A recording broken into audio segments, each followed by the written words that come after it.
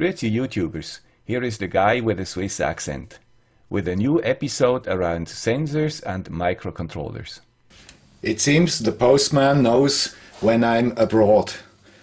Always when I come back, I find a lot of packages on my table. So let's start to unpackage them. At the end, this video was about 40 minutes, and this is way too long. This is why I decided to separate it in two parts.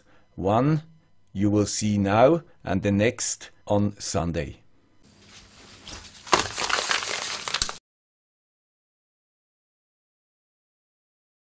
I think I know what it is.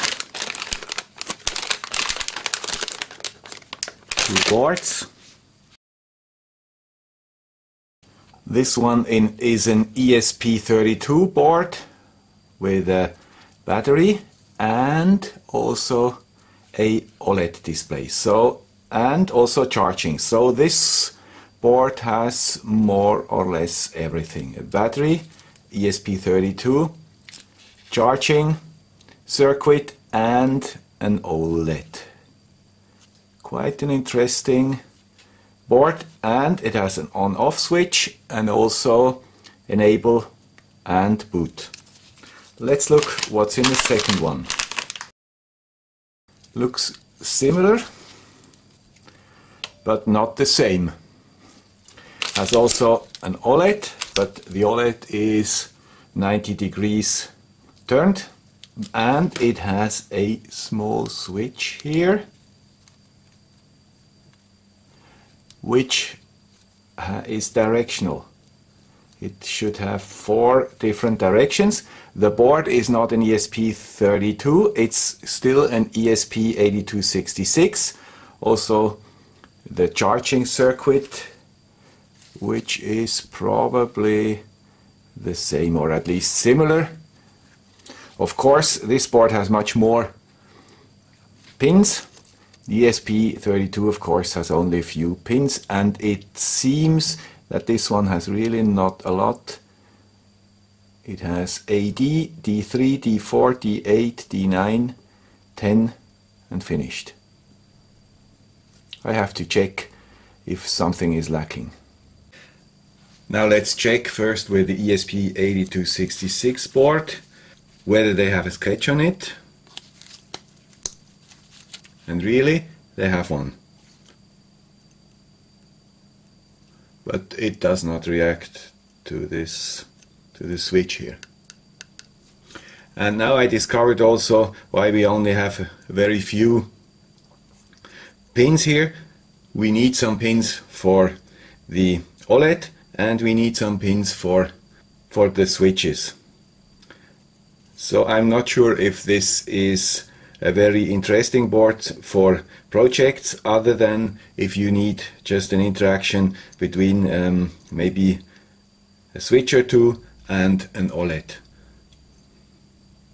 Will be a very special board I assume. And check the ESP32 board. The plus is always marked very well. And I also see here that it the OLED is cracked. So something happened during um, the transportation. And unfortunately it is also broken. The OLED is also broken here. I think I have to ask for a refund of this board. The packaging was probably not very good for this um, delicate OLED display. In the meantime, I found out that uh, this display is connected to pin 5 and 4, not as usual to 21 and 22 on the ESP32, but it does not show anything, so this um, OLED must be defective. The rest works and the ESP is also revision 1. The next one is a big one.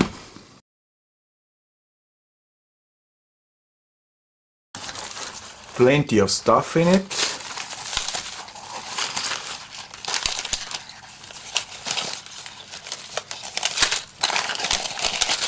really plenty of stuff. Wemos Sports, Wemos Sports, all different shields, but these are not the normal shields, these are the new shields, and it's a whole selection of shields. A relay, temperature, humidity sensor, LED, uh, NeoPixels, another temperature sensor, an ESP32, and even uh, quite a large OLED. Yeah, this is a probably 0.96 or even 1.5 inch OLED display. Also in the same format, in this X Shield format. And here it is a push button, a nicely looking push button. This is also an interesting thing. I do not know how, whether I will use it whether I need it really, but I thought it is really a nice idea and I wanted to show it to you. It is a ESP32 and it is a sensor for plants where you can measure humidity of your plants and also of the environment, the surrounding. Also with the battery, I think this can give a nice project looking at the deep sleep capabilities of the ESP32. And I like also that the sensor here is completely covered, so I assume that we will not have a lot of um, corrosion, but on the other hand, uh, I'm not sure if this will work.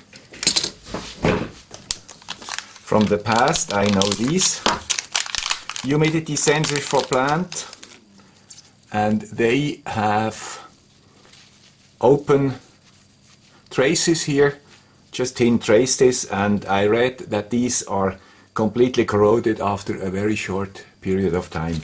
And this one seems really covered with uh, some, some sort of color, paint, something. We will see how they work. But of course here we will need a 3D printed case, I'm sure. But unfortunately my 3D printer does not work for the moment and I do not find the error, so I ordered a new one, the new Prusa MK3 and I hope it will be delivered probably as a Christmas gift. This one also has a small sketch on it, a Hello World sketch, and this DHT sensor is connected to pin 22. And all these parts have some LED. This, for example, means that the battery is fully charged. And here we have a blinking LED, which we can use for our purpose. In the meantime, I found the inventor of this HiGrow plants monitor. It is Luca Fabbri. And I also found his GitHub account. I tried out the sketch. I had to change a few things to make it run. And now I want to test it, of course. The ambient temperature readings seem to work.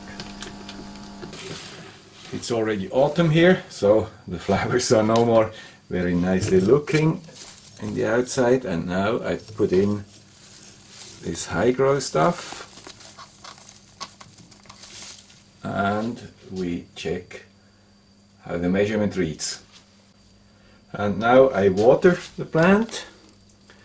Simulated, usually we don't do it this way here in Switzerland. We have larger devices we will have a drunk plant afterwards. Now we have to check if something happened. And the value seems to go down from 7 or 800 to about 400. So it seems also to work. There is another interesting fact. The normal humidity sensors work with uh, analog LM393 comparator. So they measure the resistance between the two pins here when they are plugged in the water. And our new device does not work like that. It has an NE555 timer here. So this must be something capacitive, which explains that we do not need any contact here. This is a really th interesting thing. I have to do a little bit more investigation in this device here in another video. And also in the mailbag I got this interesting device from Xiaomi. It looks a little bit similar to our device. Of course it's smaller and it has also contacts here but it has the same purpose. It also is a humidity sensor for plants but it has a Bluetooth chip in it and I bought this not especially because I'm interested in this plant watering stuff, but because I'm interested in the Bluetooth. And um, you will see in one of the next videos what I do with learning how to use BLE on the ESP32. The next one is quite heavy for this small package. Regular viewers of my channel know exactly what this is. This is a selection of different load cells. The selection contains 1 kilogram, 2 kilogram, 3 kilogram, 5 kilogram and 10 kilogram. So all the different loads and lots of cables of course but each has this typical four wire interface with black and red and white and green. We know this. I link the video in the description where we built a device for our nice cat Dishka. The next one is tiny and very light very, very small chips. These are actually OPA 2365A and these are quite good operational amplifiers and we need this because uh, my helper has uh, to do some op amp stuff uh, to learn how they work. Maybe we will show you once also a small tutorial about op amps and they are quite good and cheap op amps. I ordered op amps from TI and op amps from a unknown source and we will also compare the two whether they are similar or whether they are really uh, fake because the price difference is quite high between the original TI and the no names. Next one is, is loosely packaged and is another ESP32 board. I was asked by some viewers about the boards of Banggood, so I ordered their selection and I will test them and compare them with uh, the others I already have. They seem to be very similar than one or two I already have with a AMS 1117 with a serial to USB and with and with about 30 pins. They have also the two boot and enable buttons, which are very handy for programming. It is the brand name of Banggood here, Geekcreit or something like that. I don't know how to, pro to pronunciate that. If we actually look at it, we see that it is a do-it development kit, but it has now also a Revision 1 chip on the board. Next one. A small board. Also an ESP32, but it has MicroPython on it and it is named Revision 1. So this uh, becomes now more and more important, maybe also because of my videos that people look at this revision thing. But it is a Lolin 32 Lite. Let's look what it is. Even this one seems to have some sort of battery cable here or battery connector. It has an CH340 USB to serial. And if we boot it up, it behaves completely different. You see this dialog here, and for example, we can now and we have also to have here carriage return, otherwise it does not work.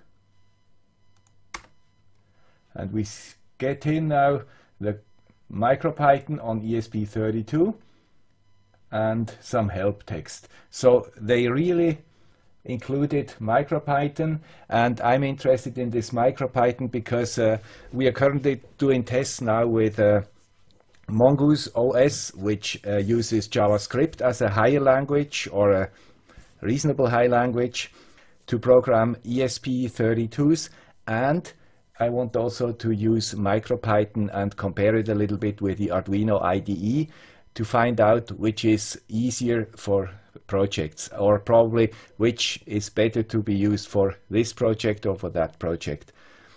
Because I personally think that uh, C++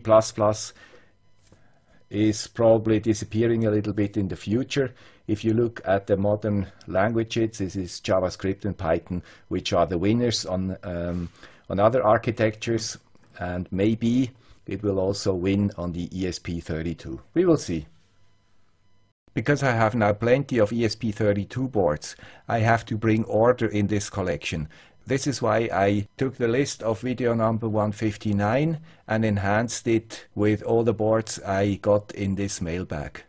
I had to create a new overview with all the different boards, with all the different pins and some other properties of the boards. And uh, I will put the link in to the description where you find this overview. Like that you can check, for example, if you want to have a breadboard friendly board or if you want one with a battery or if you want to one with only a few pins or with lots of pins so you can select and here also you see which pins are lacking for example and if you need one for your project you probably choose another board. This is the end of part one. I hope you enjoyed it. Part two will follow on Sunday morning as usual. Bye!